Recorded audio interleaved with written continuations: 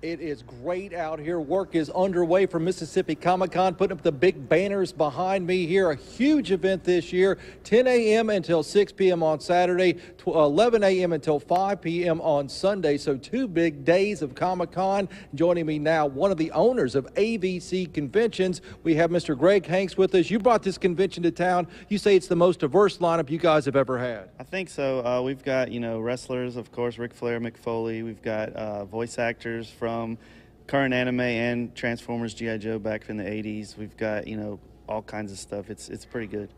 Absolutely. Tickets are $50 for the whole weekend, $30 for one day. You want folks to come by today, though, and go ahead and get a ticket if they can. Yeah, this is the first year. We know the crowds are crazy and it's super hot outside. So we're starting at 5 o'clock today. We're going to check in all the people as many as we can that have done pre-sales, and we're also going to be selling tickets uh, here right behind us. And you can also go to eventbrite.com if you need to buy a ticket early. You might even get a little break on the price. Yeah, it's cheaper if you buy them online, um, and you can go to our website and it'll take you straight to the ticketing. So it's pretty easy.